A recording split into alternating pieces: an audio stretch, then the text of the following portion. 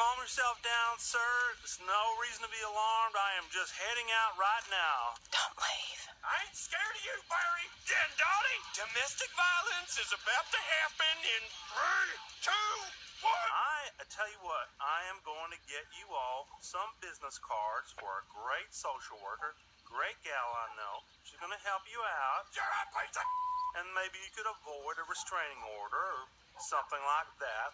They're just in the trunk of my car, so sit tight. Don't commit any violence or any more yelling. I'll oh, yell if I want, Barry. I'll kill you if I want. I'm a cop killer. Boom, boom. Trev, you shouldn't kill cops, okay? Get out of here, Trev! I swear to God, I'm gonna get you. Barry, I heard that your whole family is a pack of wild dogs, and Gonna you. You're a of... A little piece of...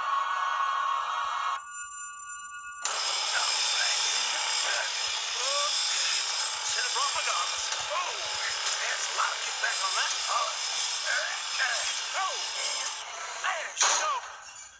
All right. Okay, so I had to go ahead and take action, Trevor.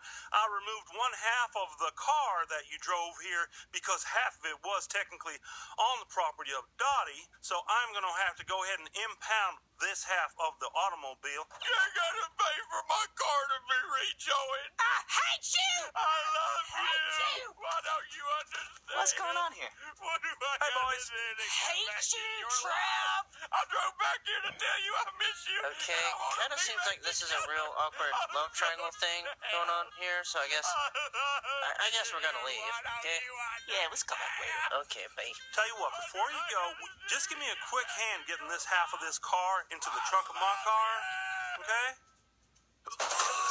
Shit.